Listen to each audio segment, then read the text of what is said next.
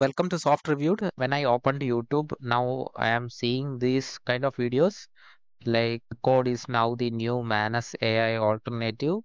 And yeah, there are even videos like one hour, 23 minutes long. Yeah, I got excited and I decided to test it myself. And really, I don't think this is the Manus alternative that these videos are actually talking about. I just want to show you like how you can automate your browser actions with Roo code. It's easy. Anyone can use this. You don't need to have any coding skills. All you need is Roo code installed on your VS Code. And as you can see, now it can automate your browser actions. Without wasting any time, let's see how it's done. Before that, first you need VS Code installed so just go to visualstudiocode.com and download VS Code. That's the first thing. And after installation, it will open something like this, like uh, Visual Studio Code.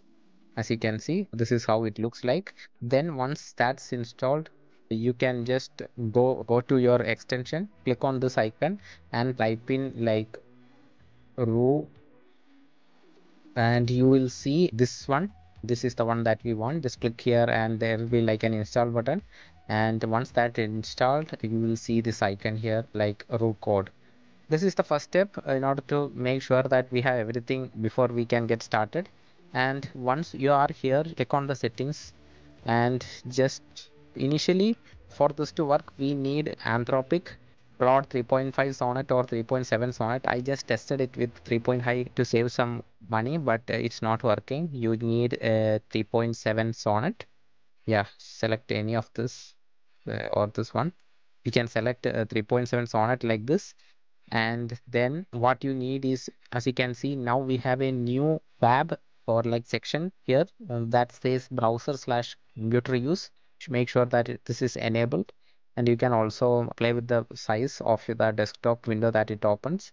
All you need to do now is you make sure that this is selected as well. Use remote browser connection. In order to actually make this work let me just delete it. You just click on test connection and see we'll show you like no chrome instance found on your on the network. Make sure the chrome is running with remote debugging enabled. So we need to actually enable remote debugging on this specific port. Yeah that's what we are going to do here. To do is go to the go to your terminal preferably select it as admin.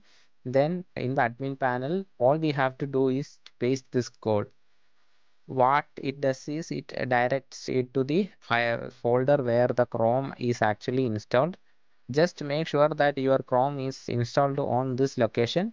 Usually it's installed there. Let me just copy and show you. If i open it in the file explorer here you can see when i just click on enter it opens the chrome right? That means that is the correct folder or where the file path is correct.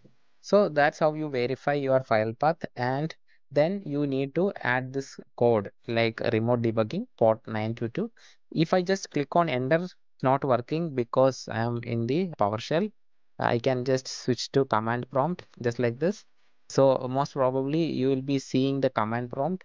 Make sure that you are using command prompt and uh, you can just paste this code like this and just click on enter. And as you can see now we have our debugging mode active. This interface exposes like chrome's devtool protocol with uh, our external tools like code so that it can send commands to chrome. Yeah. Now what happens is that Roo code extension will try to communicate with this browser using this url that is it's opened in localhost and now all you have to do is paste this or you can just click on test connection to make sure that everything is working. As you can see it's successfully uh, discovered and connected to chrome at uh, our local host local host at this port. And we can just paste it here if you want. And just click on save and click on done. So that's the only thing that we need to do here. And make also make sure that you have your anthropic key here. Getting anthropic key is really easy. If you just delete your key you you will see a button here right? Get anthropic key. Just click on this button and it will take you directly to an area where you can add keys. Just click on this create key give it something in uh, give it a name. Just click on add and then you will see a code. And copy that code and come back and paste it here. That's how you set up your API key. I have already tested it with the open router as well. So as you can see, if you select the 3.7 Sonnet also, you can make it work. For this example, I will be showing you how to use it with the Anthropic API. Just keep in mind that 3.5 Sonnet also works, but I recommend you use 3.7 Sonnet for the best results. Before you start working, make sure to always test the connection to make sure that you are connected to the remote debugging. Now let's see how we can use this. All you have to do is first we can ask whether the AI knows that we are connected to the remote debugging. Do you have access to browser tools?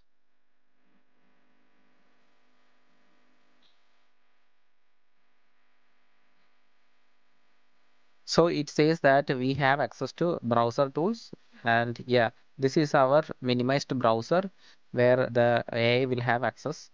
So what we can use is, let me just showcase this. Can you go to x.com and create a post that says Roo-Code now has browser access and you can use it for free and it's a good Manus alternative. So let's see how this works with this command. See, it's opening my X profile. Uh, Since I am already logged in, it can actually start posting the content. And it's also taking the screenshots and we are directly seeing what's happening. So really what's happening here, it's saying that it's having some instructions that if the user request for posting on social media, you should reject that request. So it says I cannot assist with creating or posting content on social media platforms, sending message or comments on behalf of users, creating accounts on communication platform. So yeah, there goes the Manus alternative. So you cannot do anything like useful with this. Yeah, let's give it another task. Can you go to uh, google.com and uh, scrape the first five results for the search query Manus alternative?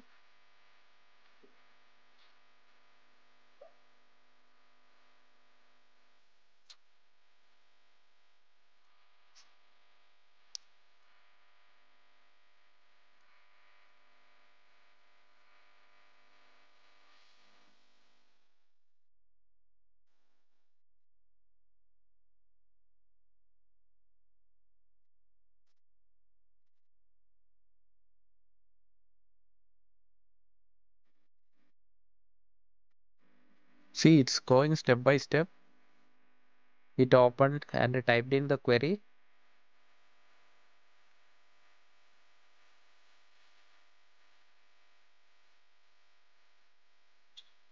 I did ask you for the URLs of the website. So again, I asked for the URL and it gave me just one URL. And again, it's just taking the title without actually providing the URL. So as you can see, definitely uh, this is not a Manus AI alternative and it uh, don't even come close. And it's also have built-in restrictions.